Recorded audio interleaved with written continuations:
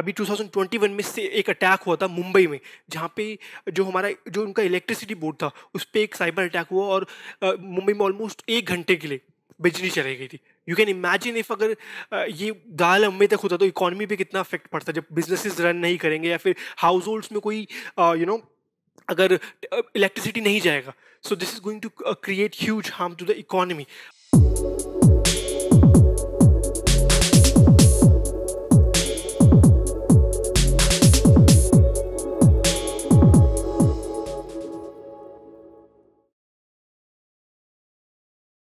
welcome all of you to the newspaper analysis of ninth of April और आज हम देखने वाले हैं कुछ important editorials from the Hindu newspaper और जो फ़र्स्ट एडिटोरियल के बारे में हम बात करने वाले हैं it is talking about the importance of technology in the defence sector इस uh, साल 2024 में uh, हमारी आर्मी ने uh, इसको डेडिकेट किया है for absorption of technology So 2024 is being considered as for absorption of technology. और हम सभी को पता है uh, there has been a significant change in the way warfare is being conducted from the last century. World war two के समय पे जिस तरीके से वॉरफेयर होता था it is completely different and new areas have emerged such as there has been uh, an area of cyberspace where warfare can be conducted there is uh, an area or, or a a threat of nuclear nuclear arsenal as well. Uh, there is an aspect of new emerging technologies which are also known as disruptive technologies such as artificial intelligence such as quantum computing all those things can definitely uh, enhances the, the power of a country if they are able to tap on all these technology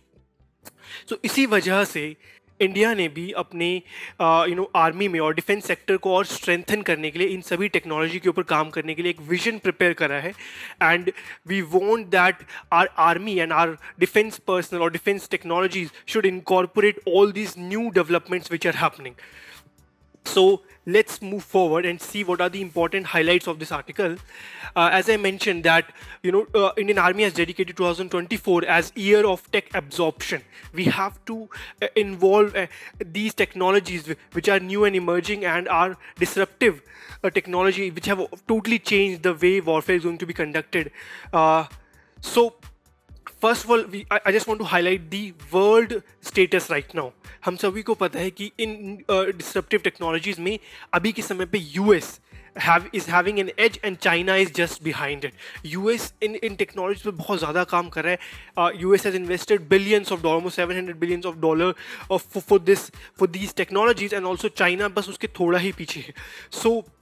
इस इस उसमें India has also fourth largest army in the world right so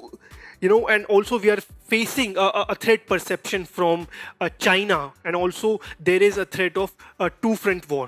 from pakistan and china.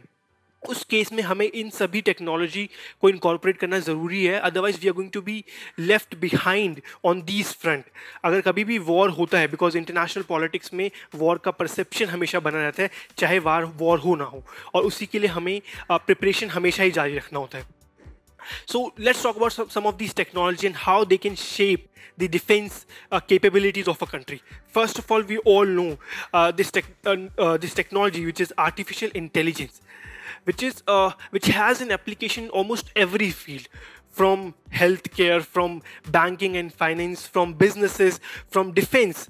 Uh, so, what is artificial intelligence? We know that earlier it was considered that only humans are, are intelligent and they can perform some intelligent activities. But abhi ke samay pe, uh, you know, through uh, big data, using a lot of, uh, you know, data on machine and, and machine learning, uh,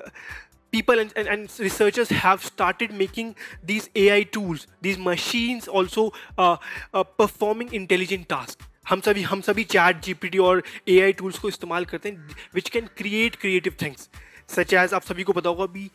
open ए का Sora जो जो basically अभी launch हुआ है वो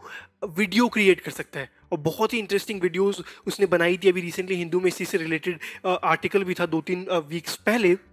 So artificial uh, intelligence is going to have a great impact on the defense technology of a country. Uh, for example, you know, it can it can help to strengthen you know autonomous uh, warfare systems which are there. Basically drones और जो surveillance mechanism है countries का उसको ये और ज़्यादा strengthen कर सकता है because A I can study the different you know huge amount of data and उस डेटा को एनालाइज करके it can take decision S Jaishankar ने एक इंटरव्यू में बहुत अच्छी बात बोली थी that you know when he was आज that sir you have so much so much experience and that's why you have contributed positively in the external affairs ministry उन्होंने बहुत अच्छा कॉन्ट्रीब्यूशन किया है in the international front so उन्होंने यही बात बोली थी अगर एआई की बात करें you you you're saying that मेरे को दस या पंद्रह साल का एक्सपीरियंस है। A I can study almost you know thousand of years of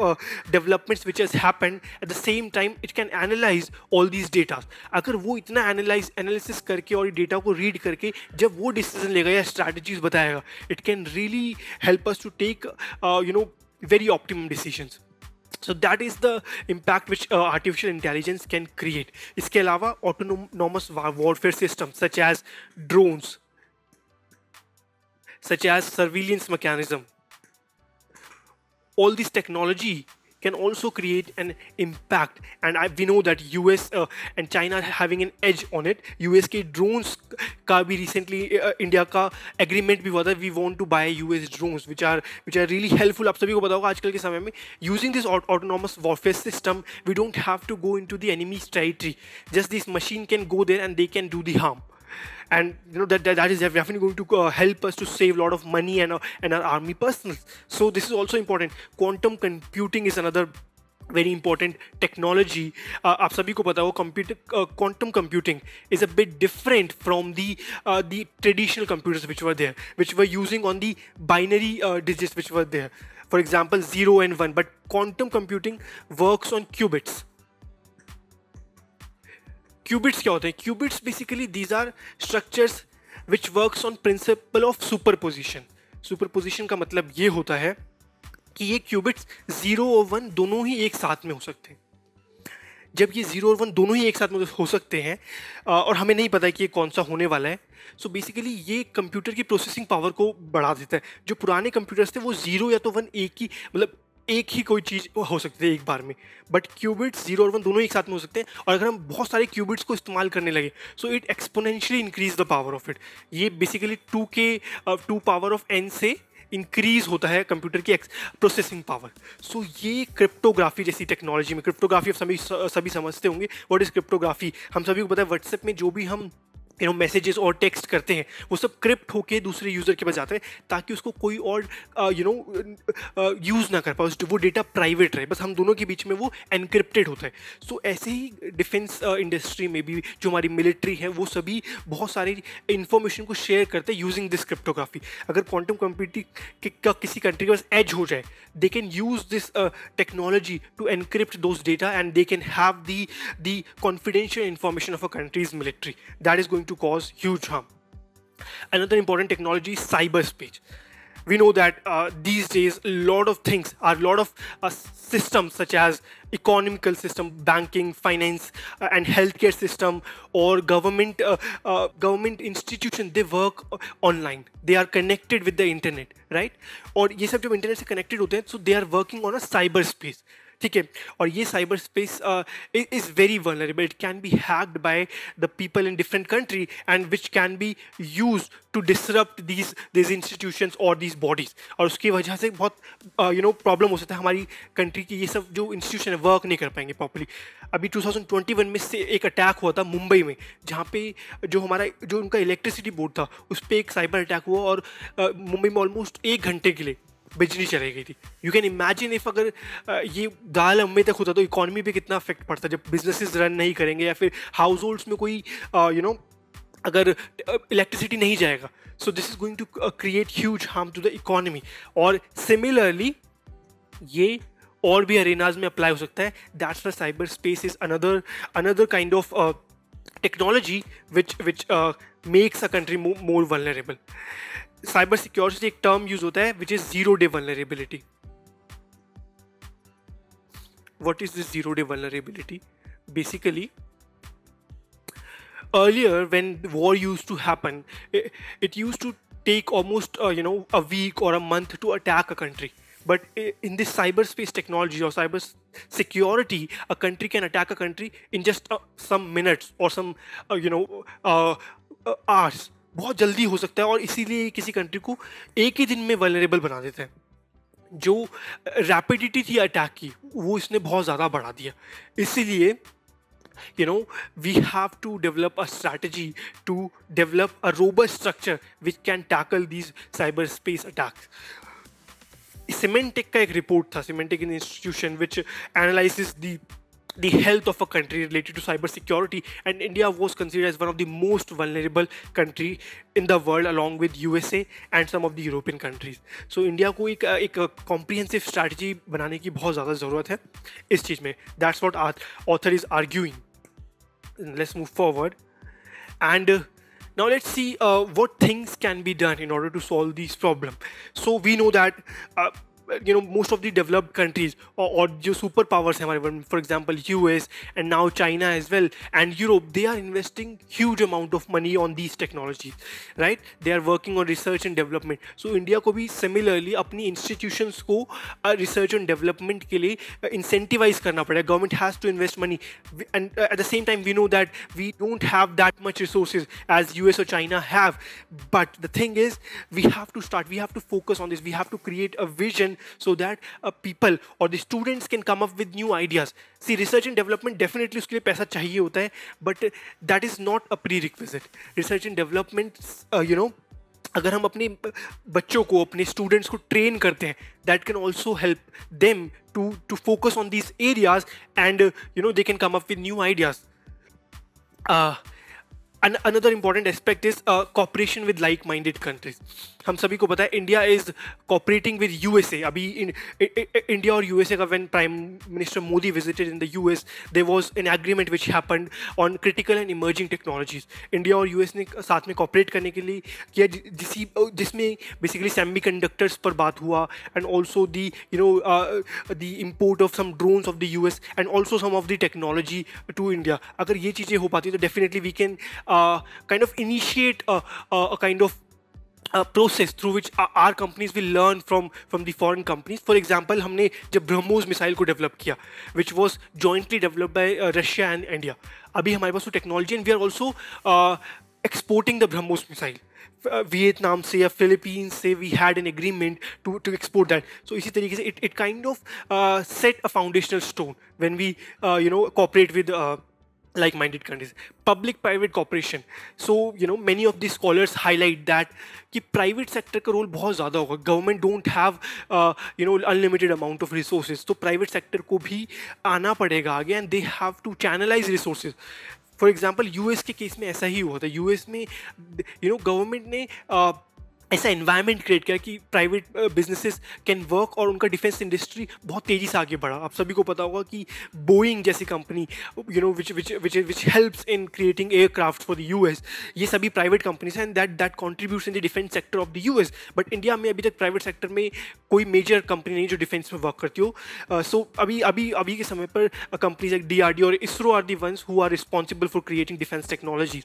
हमें प्राइवेट सेक्टर को भी इंसेंटिवाइज करना पड़ेगा उनको प्रमोट करना पड़ेगा। Government has to you know have a hand holding approach उनको उनको यू नो स्टार्टिंग में बहुत सपोर्ट देना पड़ेगा ताकि वो एक स्टैब्लिश हो जाए and then once it is going to start so you know we are going to see rapid growth in this sector as well and also इसी आर्टिकल में एक और इंपॉर्टेंट पॉइंट के बारे में बात हुआ that we have to complement with the legacy system what is legacy system legacy system का कहने का मतलब है जो हम पुराने ज़माने से यूज़ करते हुए आ रहे हैं। ऐसा नहीं है कि ये टेक्नोलॉजी अगर आ गई हैं सो हमें जो पुराने वॉरफेयर की टेक्निक फॉर एग्ज़ाम्पल टैंक्स और having in a huge army और दी यू नो जो गन्स और ये सब जो था उन सब पे फोकस करना बहुत ज़रूरी है। हमने रशिया यूक्रेन वॉर में ये चीज़ देखा कि इन टेक्नोलॉजी का रोल ज़्यादा था रायर than just the you know you use of this this new technologies अभी भी रशिया यूक्रेन वॉर में इन्हीं टेक्नोलॉजी का इस्तेमाल हुआ। सो so, ऐसा नहीं है कि हम अगर सिर्फ़ उन चीज़ों पर फोकस करें और उन चीज़ों को अगर हम नेग्लेक्ट कर देंगे so we are going to secure our country ऐसा नहीं होगा। We have to complement both the things new plus the traditional ones which which are there all apart from this this are the things which मैं research कर पाया। आप भी अपनी you uh, know you know, अपनी research से you can come up with more points you can also you know study ऐसा नहीं है कि जब अगर मैं आपको कोई न्यूज़ पढ़ा रहा हूँ तो I have completed every aspect of it though I try all my my best but the thing is you should also have this research mind set this curiosity that you if you have learn something you should also read it from the from different websites on or on the internet. You should watch some good videos so that you can have a holistic view. Not only जो मैंने आपको data दे दिया वो आपको आपको एक overview मिल गया अब आपको और अच्छे से इसके ऊपर रिसर्च करना चाहिए। And also you can make notes of it because जब अगर यूपीएससी के मेन्स में अगर इससे रिलेटेड क्वेश्चन आते हैं सो so, आप इन सभी पॉइंट्स को यूज़ कर सकते हो। और अगर आप नोट्स बना लोगे तो आपके लिए रिटेन करना ज़्यादा ईजी रहेगा। अगर आप इसको लिखोगे नहीं so you are not going to retain it for a longer period और now let's move forward to the next news which is there और ये न्यूज़ भी बेसिकली ए आई से ही रिलेटेड है जो आर्टिकल आया था टेक्स्ट पेज पर। बेसिकली uh, अभी के समय पे we know that A I has emerge as a disruptive technology artificial intelligence has application in in many of the field as we have talked about in health care in banking in economy in in the security in agriculture every field almost every field A I has an application but at the same time ai has a lot of negative consequences which government has to keep in mind otherwise it's going to cause huge harm so so, A को regulate करना भी आजकल के समय पे बहुत सारी governments के लिए इंपॉर्टेंट चीज़ हो गया है और इसी आर्टिकल में यही चीज़ बताया कि how India should follow a kind of और formulate regulatory framework for for managing A I learning from the from the regulatory framework of different countries for example European Union का कैसा रेगुलेटरी फ्रेमवर्क है? UK का कैसा regulatory framework है? या China ने कैसे बनाया है regulatory framework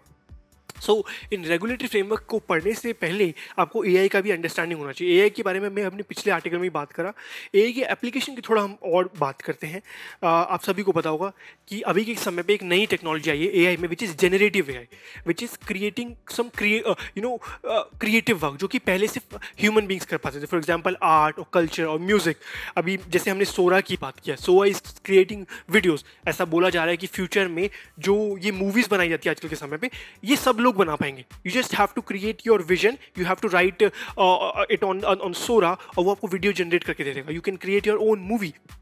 that is going to really decentralize the way these videographies and all these things uh, were happening. But problem ये भी है कि creative work जो लोग करते थे उनको उन, उनका क्या होगा? उनको बहुत ज़्यादा हार्म होने वाला है इस चीज़ से। और ऐसे ही बहुत सारे कंसिक्वेंसेज हैं। अगर और AI की पॉजिटिव्स की बात करें तो हेल्थ केयर में बोला जाता है कि A I can really change the way we use to conduct the health care for example आप देखोगे कई सारे अफ्रीकन कंट्रीज़ में एक्सरे को करने की मशीन ही नहीं है। बहुत सारी अफ्रीकन कंट्रीज़ में देर इज़ अ प्रॉब्लम हमें लगता है बिकॉज़ हमारी कंट्री में ईजिली अवेलेबल हमें लगता है कि it's not a big deal but ऐसा है अफ्रीकन कंट्रीज़ में। और ऐसे जो डॉक्टर्स उन एक्सरेज को रीड करते हैं, वो भी बहुत कम है।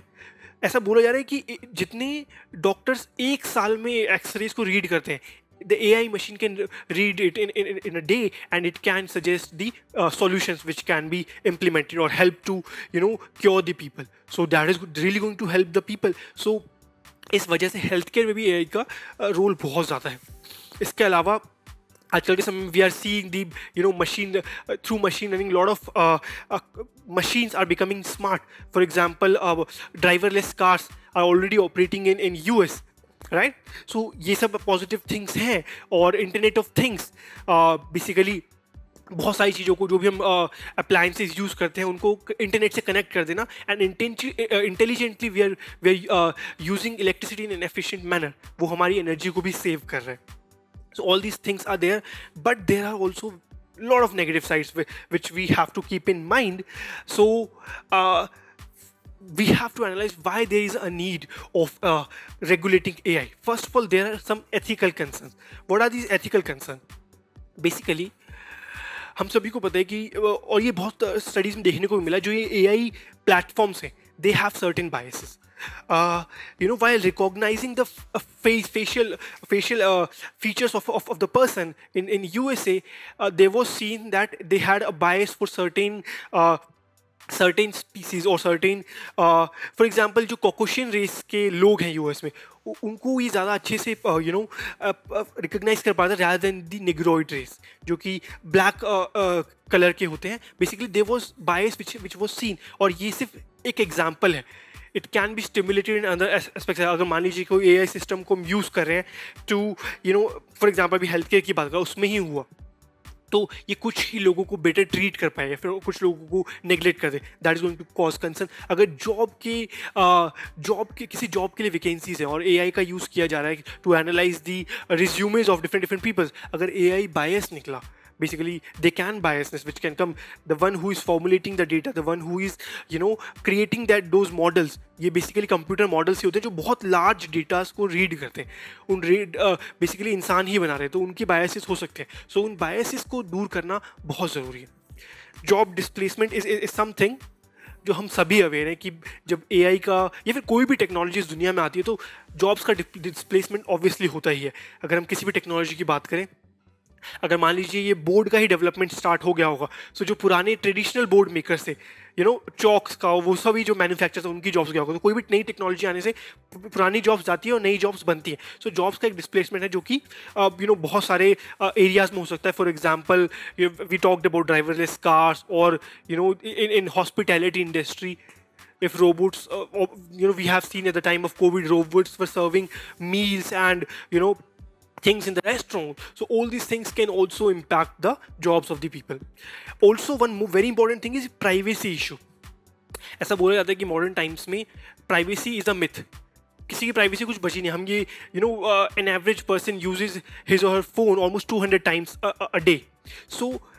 आपको पता भी नहीं होगा कि आपका फ़ोन आपको खुद से भी ज़्यादा जानते हैं जितना आप खुद अपने आप को नहीं जानते, उससे ज़्यादा आपका फ़ोन आपको जानता है you know, if you're using whatsapp you're using facebook, you're using instagram, what kind of content you're consuming, उससे आपकी साइकोलॉजी का पता चल जाता है और ये सभी डेटास चाहे आप तो डिलीट कर देते होंगे हिस्ट्री में से, पर ये सारा चीज़ें गूगल जैसी कंपनी इन सभी कंपनीज़ के पास रहता है। और उसी की वजह से there are certain privacy issues अब कोई प्राइवेसी रह नहीं गई है कि मैं मैं किस तरह का कंटेंट कंज्यूम कर रहा हूँ, क्या मेरी प्रेफरेंस है, क्या मेरी पॉलिटिकल प्रेफरेंस है, किस पार्टी को मैं सपोर्ट करता हूँ। और ये चीज़ देखने को मिला कैम्ब्रिज एनालिटिका स्कैंडल में। In 2016 US election, it was witnessed that you know Donald Trump और इन सबको डोनाल्ड ट्रंप को बेसिकली कैम्ब्रिज एनालिटिका ने फेसबुक का डेटा दे दिया। बहुत सारे लोगों का मिलियंस ऑफ़ पीपल और, और ये देखा गया कि उनके पॉलिटिकल प्रेफरेंसेस क्या हैं। अगर इस तरीके से चीज़ें होगा तो आपको नहीं लगता कि जो पॉलिटिकल लीडर्स हैं दे कैन मैनिपुलेट पीपल उन्हें समझ में आ जाए कि इनकी प्रेफरेंसेस ये हैं और फिर यूजिंग द एल्गोरिदम वो उनको वही चीज़ें दिखाएँगे जो कि मतलब बेसिकली उनका परसेप्शन ही चेंज कर दे। फॉर एग्ज़ाम्पल अगर किसी इंसान का डोनाल्ड ट्रंप के लेके अच्छे व्यूज़ नहीं है, उसको एल्गोरिदम ऐसी चीज़ें दिखाएँगी, जो कि यू नो बेसिकली वो उसको बिलीव करवा देगा कि he is a good person he can be a best leader for the country so ये प्रॉब्लम है इन सभी से रिलेटेड राइट ऑब्वियसली अभी एक नया चीज़ भी सामने आ रहा है, जो कि हमने अभी रिसेंटली देखा भी था। रिसेंटली एक फ़ेमस एक्ट्रेस का इंडिया में there was this nude video which was circulating across the internet जो कि असली नहीं था which was created through deep fakes तो deep fakes is a technology which can use to manipulate people and also it can cause harm to the person's reputation and, you know, you, it can be used in political profiling of people. Use use to give political speech अभी recently हमने South India में भी ये चीज़ देखा। के करुणानिधि का एक स्पीच दिखाया गया जो कि डीएम की पार्टी को सपोर्ट कर रहे पर के करुणानिधि ज़िंदा नहीं है अभी। ही इज़ इज़ डेड बहुत साल पहले और उनका एक वीडियो बनाया गया through A I which was you know a kind of uh, used to uh, influence people so that people can be because he is a very famous uh, leader और उनकी बातों को सुन के क्या पता लोग इन्फ्लुएंस हो जाए और डीएम के पार्टी को वोट करें तो these things were are already in use right and government has to regulate all these things that's why there is a concern Obviously transparency और अकाउंटेबिलिटी का भी है, क्योंकि ये जो ए आई टूल्स यूज़ करते हैं, आप सभी को पता होगा चैट जी पी टी आई ये डेटा कौन सा यूज़ करें, कहाँ से यूज़ करें? तो देर इज़ अ कंसर्न कि are they encroaching into the personal data of the people because आप सभी को पता डेटा दो तरीके के जनरेट करते हैं हम लोग पर्सनल और नॉन पर्सनल पर्सनल डेटा है बेसिकली मेरा name age gender sex my political preferences but non personal data होता है जैसे कि you know what kind of things I am shopping on Zomato क्या मैं खा रहा हूँ, क्या मैं यू नो कैसे क्लोथ मैं खरीद रहा हूँ, ये सब चीज़ें नॉन पर्सनल डेटा कंपनीज़ वगैरह यूज़ करती हैं। सो पर्सनल डेटा पे भी एनक्रोचमेंट हो सकता है, इसलिए there should be transparency by this A I company so that government can have you know government can know what things they are doing, what, which kind of data they are using. Okay? So there is a concern there is a need of of regulation और इसी से इस article में बताया गया कि how India can formulate its approach first of all we we should know about what kind of approaches are being use in around the world for example E U में एक अप्रोच यूज़ हो रहा है which is basically risk based approach you में बोला गया basically uh, इन्होंने क्या किया कि जो ये ए आई के कंटेंट्स है इनको तीन चार कैटेगरी में बांट दिया. For example there is some unacceptable data there is some low risk data. There is some limited risk data there is some uh, something which is which is high risk data. अगर high risk content create हो रहा है so, और उन सभी के अलग अलग कंटेंट के लिए there is a different mechanism so EU इस तरीके के अप्रोच को यूज़ कर रहा है। आप सभी देखेंगे you know there are different different countries which are which are formulating the policies और इंडिया को भी इसके लिए बहुत जल्दी बनाना चाहिए बिकॉज़ इंडिया में दुनिया की सबसे ज़्यादा इंटरनेट यूज़ करने वाली पॉपुलेशन है। और we are we are creating huge amount of data right so इसीलिए considering the ethical concern considering the privacy concern all this things we have to create a policy to regulate the this use of A I technologies then China की approach के बारे में भी हम बात करते हैं। चाइना ने भी चाइना ने बहुत स्ट्रिंजेंट लॉज अभी तक इंप्लीमेंट कर भी दिए हैं, जिसमें देर आर थ्री लेवल्स एक तो चीज़ होगा कंटेंट मॉडरेशन में। कंटेंट किस तरीके का क्रिएट किया जा रहा है? इज़ इट अफेक्टिंग सिटीजन ऐसा ना हो कि आपको पता होगा चाइना में there is an authoritarian regime there is only single party system तो वहाँ पर तो बहुत ज़रूरी है, अगर ऐसे कंटेंट बनने लगे जो गवर्नमेंट के ही खिलाफ है तो गवर्नमेंट क्या उसको अलाउ कर देगी? बिल्कुल भी उसको अलाउ नहीं करेगी। इसलिए वहाँ पर तो बहुत स्ट्रिंजेंट लॉज अप्लाई हुए फिर पर्सनल डेटा प्रोटेक्शन को लेकर भी चाइना में एक लॉ है। और जो ये एल्गोरिदम एक्ट करते हैं एल्गोरिदम बेसिकली जो, ये मशीन्स पैटर्न को स्टडी करके फिर हमें अपने आप ही सजेशन देने लगे आपने देखा ही होगा, कभी अगर आप गूगल पे किसी चीज़ के बारे में बस सर्च कर लेना that you want to buy a T shirt आपको और सारे ऐप्स में उन्हीं टी शर्ट्स के ऐड आने लग जाएँगे। अगर if your if you have search for protein supplements या फिर कुछ भी इस तरह के सप्लीमेंट आपको उन्हीं के एड्स आने सकते हैं। सो ये सब एल्गोरिदम्स के थ्रू ही होता है, जो ये जो ये बड़े बड़े मॉडल्स हैं मशीन लर्निंग के थ्रू बहुत सारे डेटा को कंज्यूम करके बनाया जाता है। और फिर ये हमें बेसिकली हमारे परसेप्शन को इन्फ्लुएंस करने के लिए यूज़ किया जाता है। सो so, इन तीनों चीज़ों पर चाइना ने पॉलिसी बनाया है। यूके की अप्रोच को देखें तो UCO UK has kind of comparatively softer law and regulatory framework उसने बोला कि जो ये कंपनीज़ हैं एआई की उनको कंसल्ट करना है रेगुलेटरी बॉडी को। कि उन्होंने यूके ने अभी कोई लॉ नहीं प्रिपेयर किया but they have they have to consult with regulatory bodies when it comes to the creation of the content और the usages of the data of the people so this is the thing so writer ये बात बोलता है कि India के लिए भी it is very necessary at the present moment considering our huge amount of internet user population that we need to create a similar kind of regulatory framework which which should be comprehensive and which should keep in mind all this concern which we have listed over there okay I hope आपको ये topic समझ में आया होगा. Now let's move forward to the next news और right uh, the third news which is there. Uh, this news is highlighting the you know a, a recent uh, report which has been published by Indian Meteorological Department. Basically ये हमारे climate और weather related information को publish करती हैं और इन्होंने बताया कि इस साल इंडिया में uh, जो हीट वेव्स का नंबर है वो स्पेसिफिकली बढ़ जाएगा। हीट वेव सभी को पता होगा when they when they is rise in temperature from 45 degree Celsius तो उसको एक हीट वेव कंसिडर करा जाता है और आप देखोगे मई जून के महीने में ये बहुत ज़्यादा होता है हमारी कंट्री में। उस समय पर गर्मी बहुत ज़्यादा बढ़ जाती है और यू you नो know, अगर आप बाहर जाओगे आपको वो एक तरीके का you know hot sensation feel होगा। इसको अलग अलग रीजन में बहुत कुछ बोला जाता है। फॉर एग्ज़ाम्पल अगर नॉर्थ इंडिया की बात करें, उसको लू बोला जाता है। और which can really cause harm to our health ठीक है? सो इस साल हीट वेव्स बढ़ जाएँगी and the writer is pointing out that you know अगर हीट वेव्स बढ़ती हैं तो इंडिया का एनर्जी कंजम्पशन भी बढ़ेगा। Specially you know in in the urban centres वहाँ पे एनर्जी कंजम्पशन बहुत ज़्यादा बढ़ जाएगा बिकॉज़ अगर ज़्यादा गर्मी होगी। हमें अपने आप को कूल रखने के लिए ज़्यादा यू नो इलेक्ट्रिसिटी यूज़ करना for for coolers for A Cs for fans and all those things इन सब चीज़ों के लिए हमें हमें ज़्यादा इलेक्ट्रिसिटी कंजप्शन लगेगा and because we are using we are we are product producing our majority of energy through coal so ये कहीं ना कहीं हमारे लॉन्ग टर्म गोल जो uh, है अब हमें हमें बेसिकली एक क्लाइमेट रेजिलियंट कंट्री बनना है जो कि ग्रीन हाउस गैसेज का एमिशन बहुत कम करती है। वो वो उसको भी हर्ट करेगा। इसलिए इस न्यूज़ को हम थोड़ा ध्यान से समझते हैं कि ये क्या कहना चाह रहे हैं और what are the challenges which this article is highlighting so basically to understand this news we have to understand that अभी क्लाइमेट चेंज का क्या स्टेटस चल रहा है दुनिया में? आप सभी को पता है कि इंडस्ट्रियल रेवोल्यूशन के बाद से फैक्ट्रीज प्रोडक्शन होने लगा और उसके बाद बहुत तेज़ी से कार्बन डाइऑक्साइड का एमिशन जो कि ग्रीन हाउस गैस है। ग्रीन हाउस गैसेज क्या होती है green house gases basically are those gases which kind of traps heat in themselves और हमारे एटमोसफेयर को वार्म रखती है। तो ये ये तो बहुत ज़रूरी भी है। ऐसा नहीं है कि ग्रीन हाउस गैसेज कोई ख़राब चीज़ है। ग्रीन हाउस ज़रूरी है। हमारे हमारे अर्थ को वार्म रखने के लिए। अदरवाइज़ रात को हमारा टेम्परेचर बहुत लो चल जाएगा माइनस में जाएगा और लोग यहाँ पे सर्वाइव नहीं कर पाएँगे। बट प्रॉब्लम ये हुआ इंडस्ट्रियल रेवोल्यूशन के बाद से बेसिकली ग्रीन हाउस गैसेज का एमिशन इतना ज़्यादा बढ़ गया कि हमारा जो जो अर्थ का एटमोसफेयर है, वो इतना गर्म हुआ कि they they there started global warming global warming की वजह से आपको पता है, बहुत सारे यू नो नेगेटिव थिंग्स हुआ, जैसे कि melting of glaciers you know rainfall pattern का चेंज हो जाना एग्रीकल्चर पे इफ़ेक्ट होना डिसीजेज बढ़ना all this things were there so basically India और वर्ल्ड में, पूरी दुनिया में ये ये चीज़ आ रहा था कि we have to do something और इन सब चीज़ों के लिए बहुत सारे एग्रीमेंट्स हुए Kyoto protocol Paris agreement limit किया गया कि हमें कितना ग्रीन हाउस गैस एमिट कर सकते हैं। क्योटो प्रोटोकॉल में रिकोगनाइज किया और डेवलपिंग कंट्रीज़ ने ये मांग उठाया कि they should be a framework for common but differentiated responsibilities और दैट मीन्स इज़ कि यू नो हमारी रिस्पॉन्सिबिलिटी कॉमन तो है पर डिफरेंसेस भी होना चाहिए उसके अंदर। बेसिकली सबका सेम कंट्रीब्यूशन नहीं होना चाहिए बिकॉज़ जो ये डेवलप्ड कंट्रीज़ हैं यूएसए यूरोप की, ये बहुत पहले से एमिशन कर रहे हैं। ये यू नो जब एटीन हंड्रेड्स में इंडस्ट्रियल रेवोल्यूशन हो गया था उसके बाद से और नाइनटीन हंड्रेड्स में उनका बहुत तेज हमने तो बेसिकली इंडिपेंडेंस के बाद ही इंडस्ट्रियल रेवोल्यूशन बहुत अच्छे से स्टार्ट किया। तो हमने कंट्रीब्यूशन बहुत देरी से की है। सो so, हमें थोड़ा रिलीफ मिलना चाहिए बिकॉज़ हमारा अभी टेक्नोलॉजी बहुत पीछे है उनसे। हमें तो इतनी जल्दी हम ग्रीन टेक्नोलॉजीज़ में ट्रांसफ़र नहीं कर सकते। ये चीज़ था। और पेरिस एग्रीमेंट में बात किया गया। अभी यू नो क्लाइमेट चेंज का जो स्टेटस है बहुत इतना सेवियर हो गया कि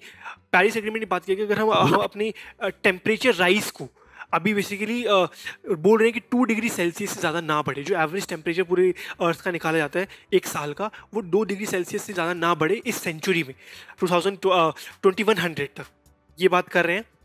अगर हम उसको 1.5 डिग्री सेल्सियस तक रोक पाएँगे तो और भी अच्छी बात होगी otherwise they can be severe consequences और जो कि हम आजकल देख ही पा रहे हैं। काफ़ी कंट्रीज़ के ऊपर ये थ्रेट है कि वो डूब जाएँगे। For example some small island nation such as Maldives so ये प्रॉब्लम इमर्ज हुआ है।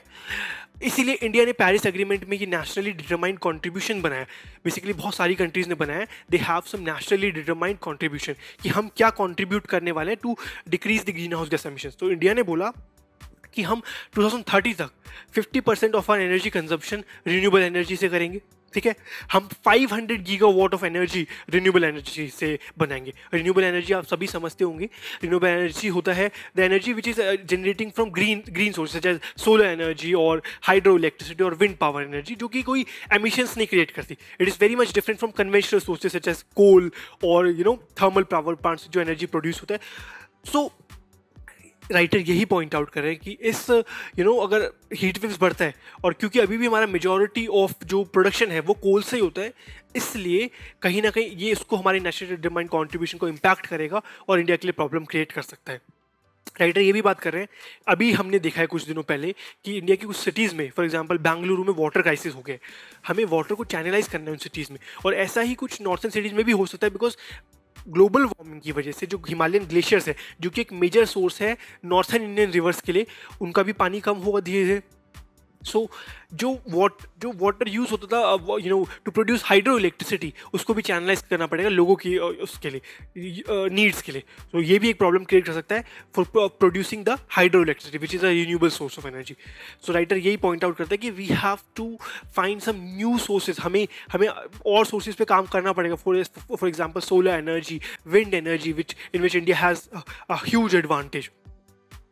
so this this is uh, i hope uh, this topic is clear to you. And you know ये एक बहुत इंपॉर्टेंट टॉपिक है for the for the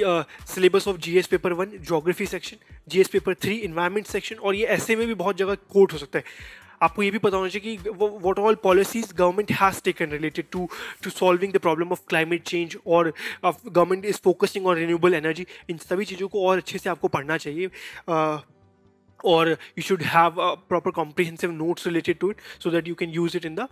mains uh, answer writing. Right I hope आपको तीनों news आज की जो कि बहुत इंटरेस्टिंग थे और बहुत इंपॉर्टेंट भी थे यूपीएससी के के पॉइंट ऑफ़ व्यू से and also being as a citizen of a country a responsible citizen of a country आपको ये सब चीज़ों के बारे में पता होना चाहिए। so yeah we, we have reached to the end and if you have any question you can just uh, write in the comment section uh, and I'm, I'm going to answer that uh, आपको कोई बात अच्छी लगी हो तो आप वो भी शेयर कर सकते हैं कमेंट सेक्शन में और uh, आपका कोई भी व्यू है if you have any kind of perspective different from this you can definitely share in the comment section thank you have a nice day